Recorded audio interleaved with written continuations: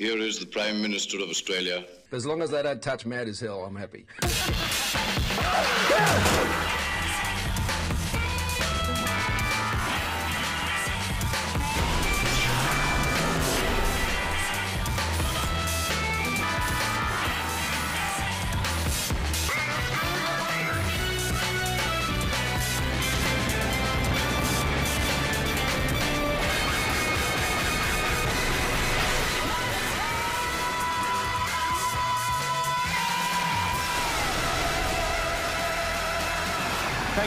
Thank you. Now, I, uh, I don't know about you folks, but I am greatly relieved this week. Victorian Labor Premier Daniel Andrews has come in for a lot of stick from the federal government over the past few months for his autocratic handling of his state's health crisis. So it's been refreshing to see the federal government laying into Annastacia Palaszczuk instead. It's also great to see that it's not just uh, state Labor governments under pressure, with uh, Gladys Berejiklian's coalition government in New South Wales also the subject of a political pylon, though not from the federal government so much as from itself, or at least that bit of it run by the Deputy Premier and Nationals leader John Barilaro. Now, normally Gladys and John get on very well. John usually confines his destabilising to the federal government. The state coalition cabinet, though, is united and strong, particularly when they're dealing with uh, big issues like being blamed for the Ruby Princess debacle by the ABF. But sometimes something comes along that's bigger than a global pandemic, something like koalas. In fact, in this instance, actually koalas. Koalas? Now, as the history books show, John Barilaro took a principled stand against his own government's koala protection policy, a move I think made even nobler by the fact that he himself had signed off on the policy. Now, that takes guts.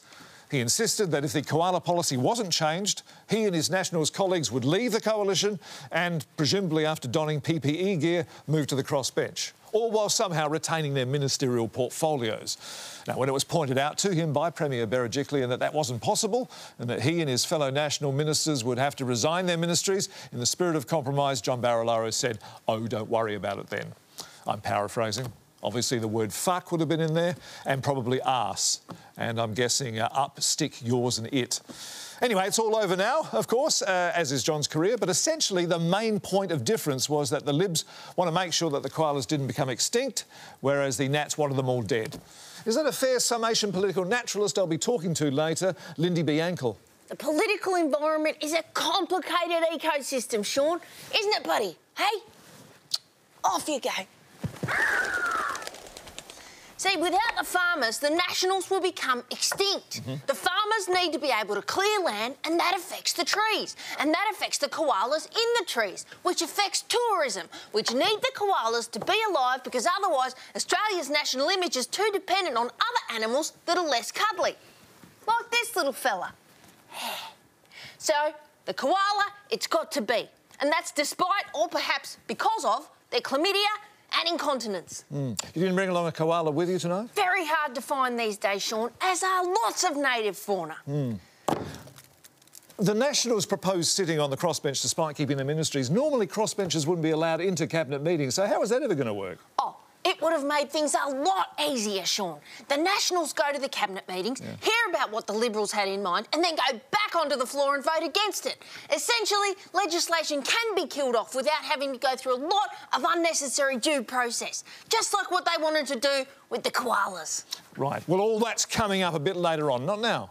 Also ahead is Health Minister Greg Hunt hatching a new mental health plan. If so, it explains why he's been sitting on the Productivity Commission's report for 10 weeks.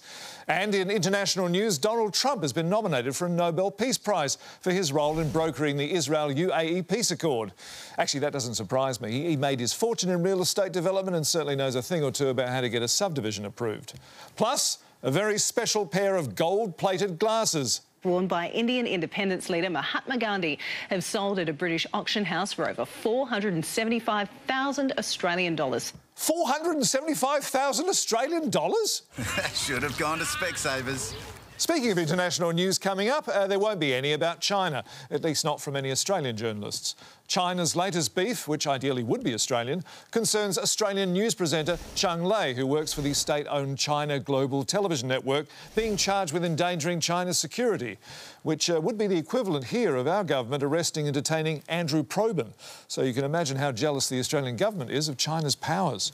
The concern is that uh, this is the latest in a tit for tat exchange between the two countries. The tit being Scott Morrison, who requested an inquiry into the source of the coronavirus outbreak, and the tat being what China has done with our beef, barley, and wine. That is, made a kind of punitive trade casserole.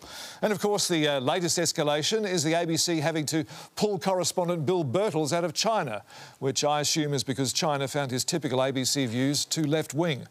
And now Australian companies doing business in China are starting to wonder whether hitching their wagon to an oppressive communist regime was such a good idea. The chief executive of Elders says that treatment of Australian journalists like Birtles was designed to send a message to Australia that Beijing was killing the chicken to scare the monkey. Obviously, something that goes on a lot in their wet markets. Foreign Minister Marise Payne is also worried, warning Australians were at risk of arbitrary detention, which at least sounds a bit more targeted than the statewide detention going on in Victoria at the moment. But right now, with his take on the crisis, here's Tosh Greenslade in a wig and glasses. That's exactly right, Shaun. The love affair between China and Australia, which began with such promise in the 1850s, with the Chinese coming over here and digging up our gold and us taxing them more extortionately than everyone else pursuant to our White Australia policy, has ended in tears with us price gouging our iron ore to them, them sending back our barley because it's got weeds in it, us accusing them of not washing their pangolins and bats properly, them arriving here unannounced that time on aircraft carriers to bulk buy all our baby formula, us not letting them install 5G in our country, them proving they don't need to by hacking our personal data anyway, ASIO investigating their spies, them complaining about our wine dumping, our Foreign Investment Review Board not letting them buy our dairy industry, and now this. Dozens of lizards hidden in rice cookers have been discovered by Australia Post, destined for China's black market. The final straw in any escalation of trade tension, taking a country's lizards. It goes to the very heart of who we are as a nation, why we even have a frill necked one on our two cent piece. Australia is a proud, multicultural, tolerant, unxenophobic country and can put up with almost anything a foreigner does, providing he or she speaks English and doesn't dress too funny. But when they start smuggling lizards out of the country in rice cookers, then it's time to stop pretending we're not racist. Unless, of course, the lizards were a decoy and they were actually smuggling rice cookers, but I can't imagine there would have been a shortage of those over there. Shaun. Mm. Thank you, Tosh. Tosh Greenslade there in a wig and glasses. Tosh, incidentally, has a book out in November, but sadly I can't mention the title or even show it to you on camera because of the ABC's strict no advertising policy. I'll mention it. It's called... We beeped him.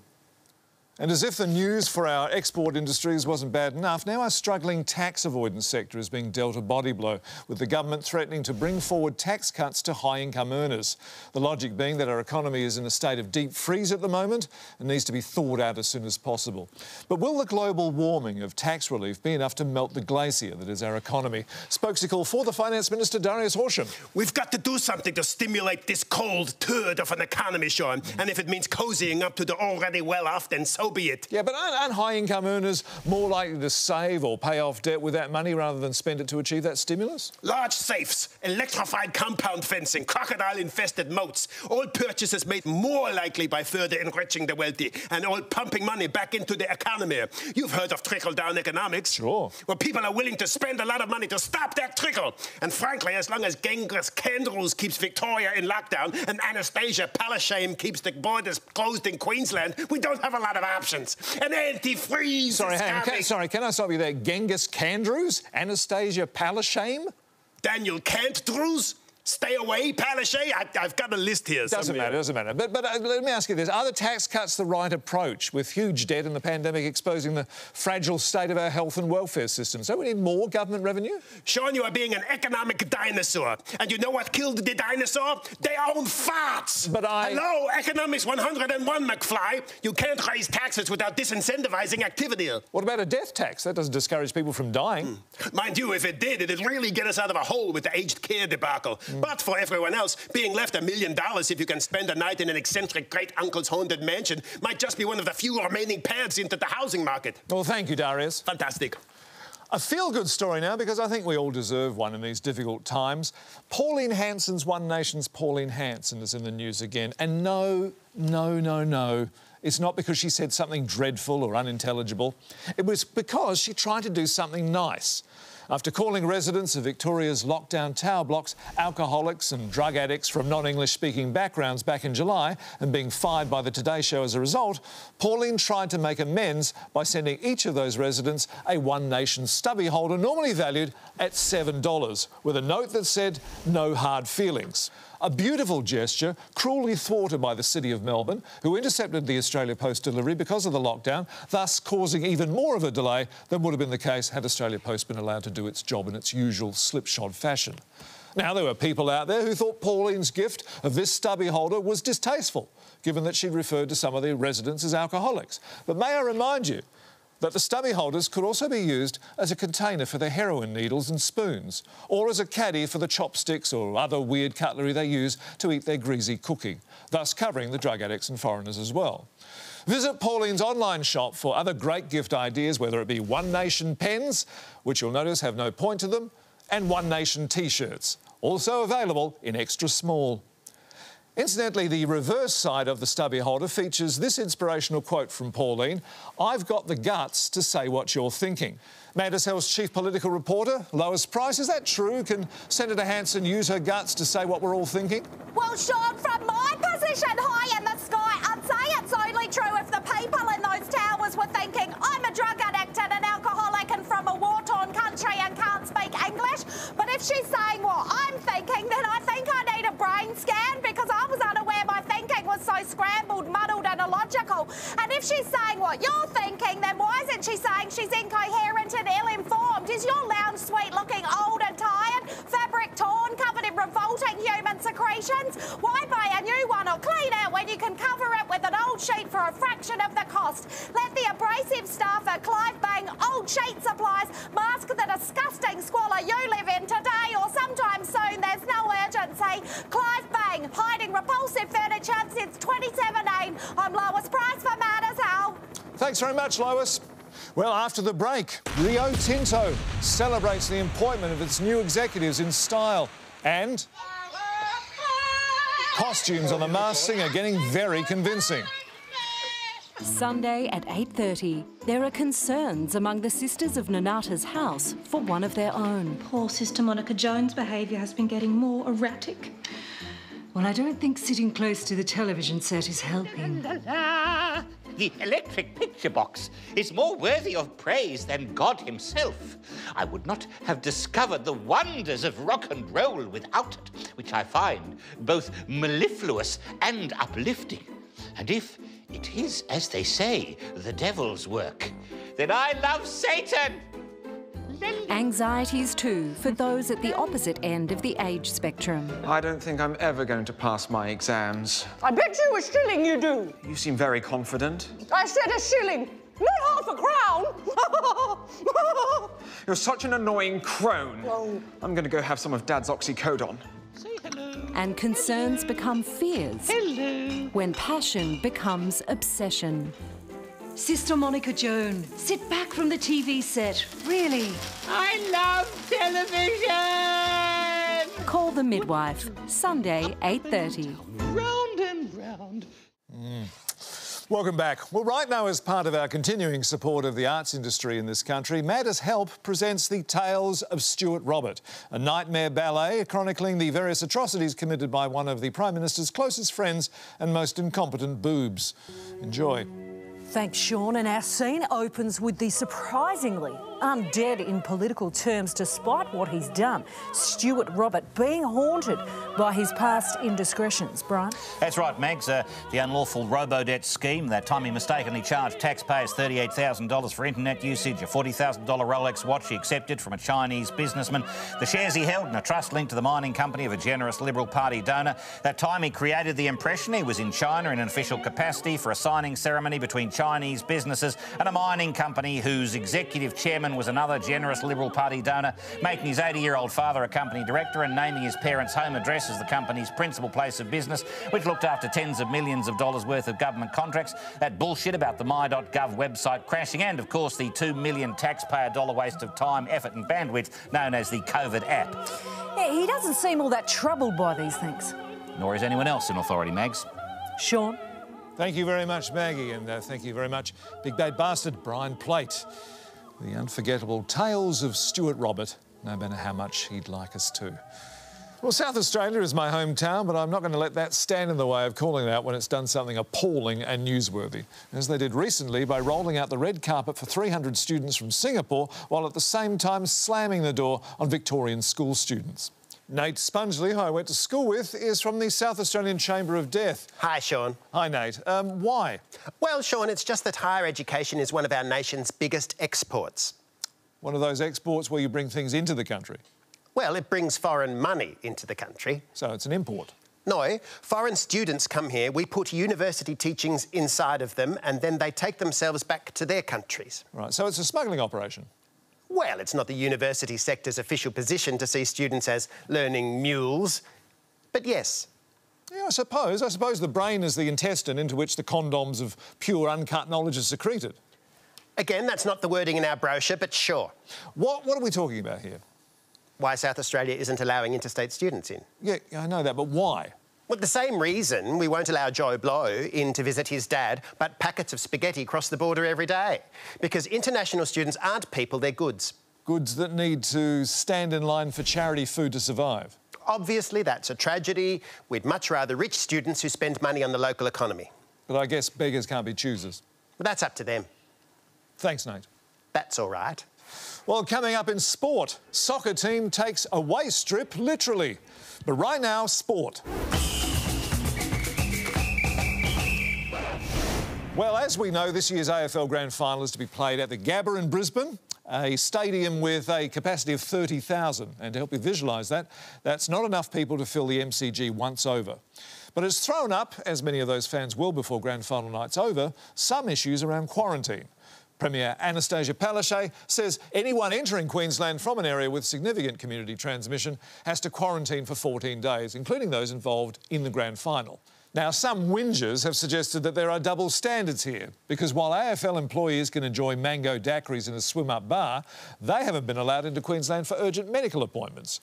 Queensland Health Puppet, RN Breakfast, why, why are people from the AFL given this sort of special treatment? Shaun, these people are Australian Football League administrators and their families. That's right, they're not medical specialists. No, no, no. They're organising games of Australian rules football. That's right, games of football. Games of football. Yes, I know, games of football. Right. Games. That's right. They're administrators. Of football. That's right. I'm glad you understand at least. Thank you very much, RN. Now, uh, we talked a little earlier in the show about how tough it's been for some financially. Well, the good news is that the government's financial relief packages, along with early access to superannuation, have helped. The bad news is that it's helped those who prey on the vulnerable, with the ACCC saying $91 million had been lost to scams so far this year. Posey Scourge from the ACCC, you're announcing a compensation package for people who've been scammed of these funds. That's right, Shaun. It's a 100% refund of all monies lost, and all people have to do is send an email to the address on the screen now, Mm-hmm. attaching your Medicare card number, driver's licence number, bank account details, and any associated passwords. And the amount you've lost.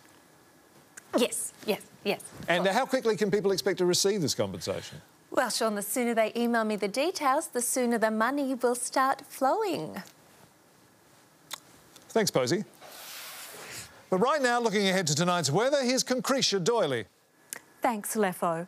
And a chilly one in the city today, only reaching 12 degrees, but felt like six. I turned 38 on Saturday, but on Sunday morning felt like 85.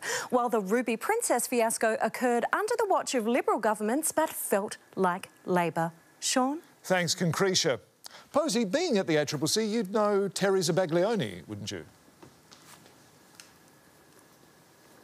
Shaun, there is no Terry Zabaglione at the ACCC. Okay. Eh,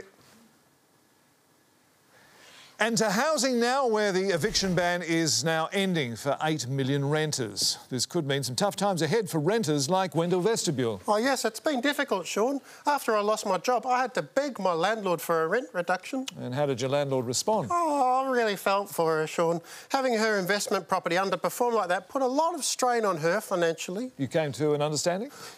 We talked through our mutually dire fiscal straits and both realised that having a roommate would help halve our costs of living. And so we moved in together. Well, that's, that's good then. Uh, unfortunately, because her income comes from my rent and she didn't have any income because I couldn't even pay the half I was supposed to, Mm. she ended up falling short on her mortgage repayments by roughly 100%. Oh. Plus, because she was living in the house, she couldn't negatively gear the property anymore, so the interest due on the loan was no longer tax deductible, which only added to her monetary woes.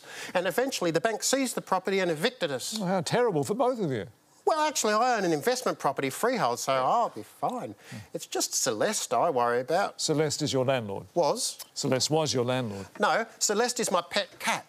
When I moved out, I accidentally left her at the rental property and I can't go round and pick her up because I don't have an intimate partner living there to visit so as to qualify for the stage four lockdown travel exemption. Oh well. Well, you don't really like a cat. Not enough to go around and root it. I'd be better off buying a new one. Mm. The- now, we were talking about the Australia China tit for tat earlier in the show, and I think it's worth uh, pointing out that the uh, tits and the tats do not equal each other in this instance, and that Australia denies that its intervention with the Chinese journalists and academics is about silencing free speech. Australia is, of course, a strong supporter of media freedom, freedom of the press. Yeah, more so in China than here, obviously, but I'm splitting hairs. Hairs that can now be found on the face of former Prime Minister Kevin Rudd, who described our relationship with China like this. Uh, the bottom line is the trajectory is all negative. In fact, on a graph, the trajectory would be the bottom line. China, though, has made a fairly unusual request. We demand that the Australian side immediately stop blatant, irrational acts. I mean, that would require us to scrap the Senate, but uh, I'm willing to if they are.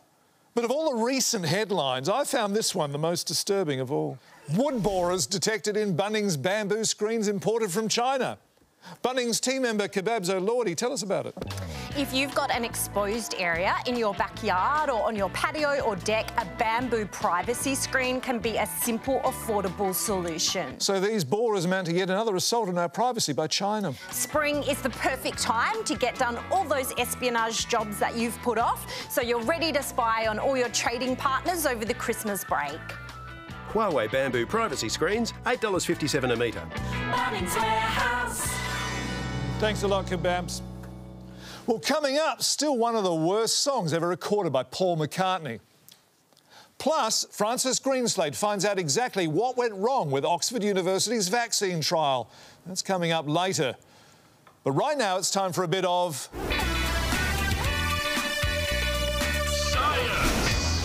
Well, researchers from the Wentworth Group of Concerned Scientists say more than 2 trillion litres of water, enough to fill Sydney Harbour four and a half times, has gone missing from the Murray Darling Basin. Maybe we should check Sydney Harbour and see if it's four and a half times bigger. It was a question we wanted to ask Professor Silo Nunchucker from the Macquarie Group of Unconcerned Scientists, but he couldn't be asked coming on the show. Instead, I tried to speak with government spokesperson Fluffer Cologne. Do you reckon Gideon Rozner waxes his eyebrows? Is it possible the water is being held for ransom by a relative of Angus Taylor in the Cayman Islands? Well, they're very pointy. At least until Barnaby Joyce hands over more money than was originally asked for? Hang on. Uh, We're hoping much of the wildlife and fish and plants and trees in the Murray-Darling catchment area ecosystem uh, will die Mm-hmm. and that this will reduce the impact on the water for those of us who need it. Yeah, go on. Yeah, but so rather than limit uh, our use of resources, we limit the amount of things that use those resources. Hang on. It's the living embodiment of the coalition's philosophy. Those upstream get the water first, those downstream get whatever trickles down. Well, that, that's not going to work for everybody, though, is it? Of course it does. Those upstream need the water so they can manufacture things like cotton to make clothes that those downstream need. Yeah, yeah, but when those downstream want, need to wash those clothes, they don't have any water. I'll call you back. That's where this new Murray-Darling Basin Compliance Office comes in, to make sure it appears people are doing the right thing and obeying the rules and blah, blah, blah. Yeah, but aren't the rules and to a greater extent the blah, blah, blah the problems? Because companies along the river, they've received $41 million from the government for water efficiency projects, and they've used it to build dams to store more than 30 billion extra litres of water and irrigate an extra 81 square kilometres of land. I mean, how, how is that in the, in the spirit of the legislation? Shaun, there's no point propping up these old and dying waterways when the natural order of things is to let them pass on. We should be encouraging small streams and creeks on other properties to realise their potential. The government's focus has and will always be on the Australian people and ensuring they have enough nuts to feed their families. Well, nuts require a lot of water to produce, though, don't they? I don't know, I've always found them to be quite dry. What an extraordinary performance. And finally, one of Elon Musk's tech companies has implanted a coin sized computer chip in the brain of a pig named Gertrude. The device tracks the animal's mental activity, but the company hopes it could one day help people with a disability control computers with their minds. Hmm, sure, this all sounds not insane. Oi, Hamish! Uh, yeah. Hamish, mate! Yeah, sure, lady in the middle up there. Yeah, you know what Elon Musk is planning here, don't you? Fucking super smart astronaut pigs flying his fucking fancy SpaceX rockets to Mars and that, yeah? So all his mega rich mates just pop over to Mars and start partying like it's 1999, even though it costs a shitload more than that, but it's like 1999 to them, so they're all tripping off their tits, mate, joining the 34 million mile high club and that, while the pig astronauts orbit around the sun like they're on some fucking giant rotisserie, mate, and then land back on Mars when they're all fucking nice and crispy. Right, and uh, so the passengers eat the astronauts? Yeah, fucking. Uh, how, how then could they get back to Earth? Mate, the joint was fucking robbed when I got here, mate. How could they? How could they get back to Earth? Well, it's not my fucking problem, Hamish. You know, but bloody hell, like machines are one thing, or, or like a few things, I suppose. But you know, don't tell me I have to start competing for a job with a fucking leg of ham that's smarter than me, mate. Like, how am I supposed to put fucking food on the table when the fucking food's got my job, mate? And if you think you know the answer, fucking write to us and shit. And you could be in line at the STD clinic to win an Anthony Green waste recycling bin. Get rid of all that inaccurate psephology data that no one wants after an election night or during it. Hard rubbish collection also available for that big screen what never seems to work properly. Mmm, that's nice. Friday night, it's the return of Vera. Mum, body of a man found burnt to death in an abattoir incinerator. Hands and legs bound with wire and a star picket through his chest. This is no accident. We're looking for a murderer. But whom? Eric Tosca. Who's he? The murderer. Eric Tosca. Yes? Hi. Did you murder a man and burn him at the abattoir? Yes. The all-new season of 45-second episodes of Vera starts Friday at 8.30. Well, coming up before Utopia to let us know what's happening later in the week. It's a great night's viewing tonight on your ABC. After Mad As Hell, amateur sleuths Chaz and Morgana investigate a slew of fatal shark attacks in Murder by Animal, followed by the former police sergeant Dutton Mysteries. And finally, the late night bulletin read by Michaelia Cash. And finally, the frustration in Victoria extends beyond the no maskers to those with pre existing facial coverings, like Jim here. Jim's Group CEO, Jim Penman, this week wrote a furious letter to Premier Daniel Andrews saying his roadmap offers no relief. It's a follow up to his earlier furious letter saying the Premier should step aside and let someone else take over. Perhaps someone from Jim's governing, the market leader in governing services. Whether it's infrastructure development, health systems, or industrial relations, Jim's governing will have your state looking great and running smoothly. Franchises available. Goodbye. Giant baby.